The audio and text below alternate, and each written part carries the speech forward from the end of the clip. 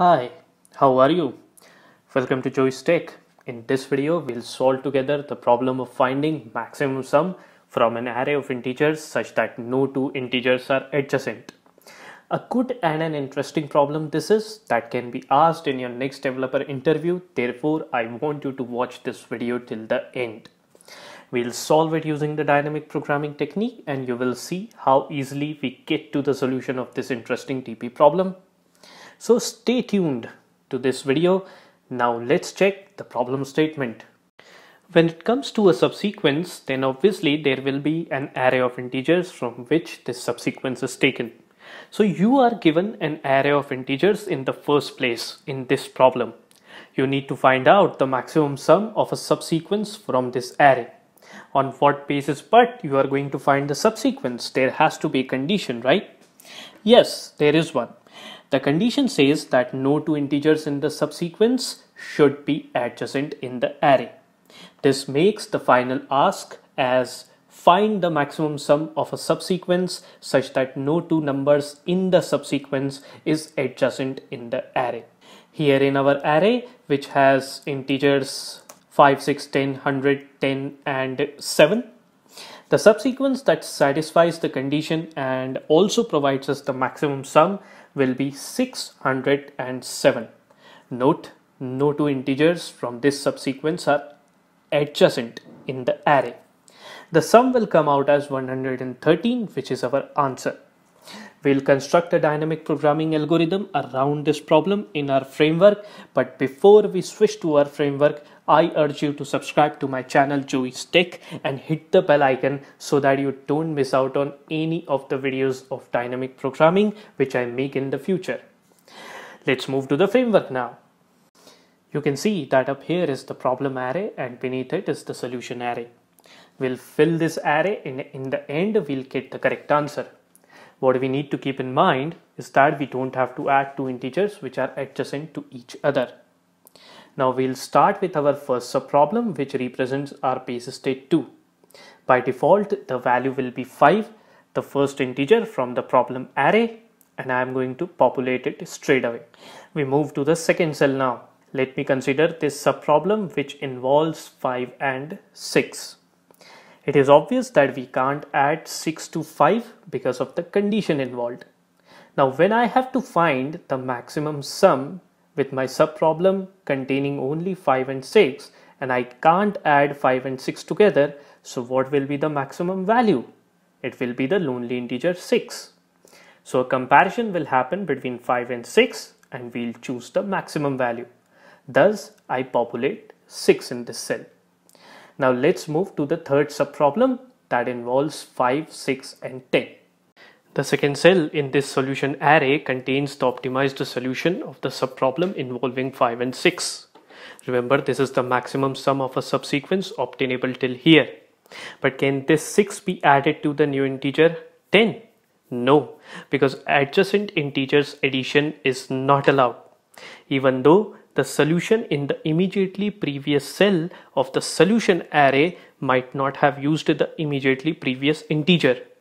But in our case, the subproblem contains the immediately previous integer, which is 6, and this is the logic behind not adding the value in the immediately previous cell of the solution array to the new integer.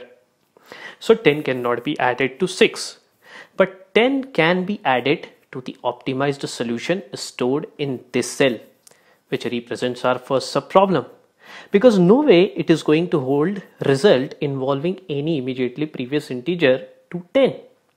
So once I add 10 to 5 I get 15 which I populate here for a while.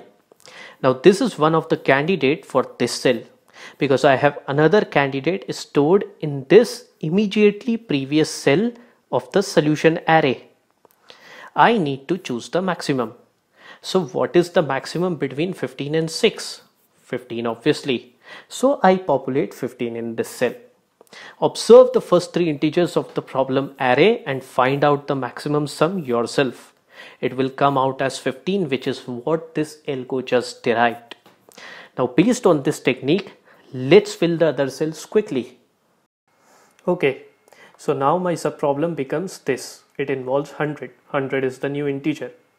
Now based on the technique that we just discussed 100 cannot be added to 15 but 100 can be added to 6 so my first candidate will be 100 plus 6 that is 106 this 106 will be compared with this 15 to find out the maximum value which is the maximum between these two it's obviously 106 so I'm going to populate 106 over here so 106 is the maximum sum if I consider this subproblem such that no two elements in the array are adjacent.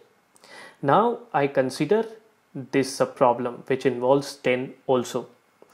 We'll follow the same method 10 cannot be added to 106 because this particular subproblem contains a result which might not have used or might have used 100 which is the immediately previous integer. In this case it has used 100. So 10 will be added to 15 and the candidate will be one of the candidates will be 25.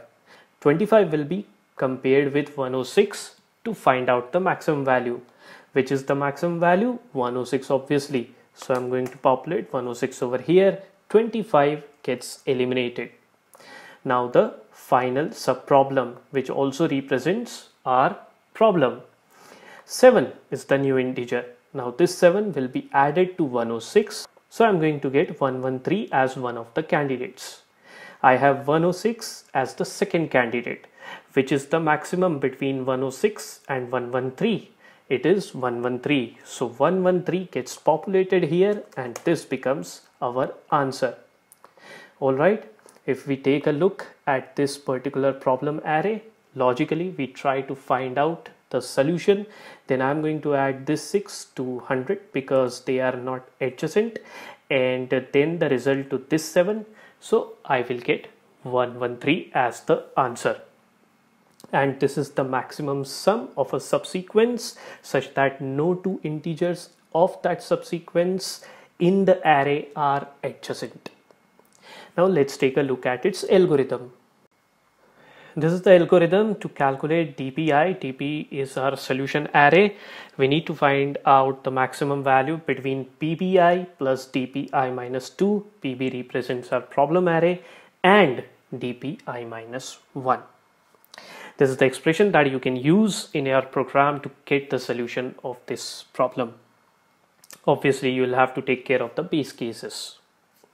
So this concludes this video. I hope you enjoyed watching this video. I hope you learned from this video to hit the like button if you like this video.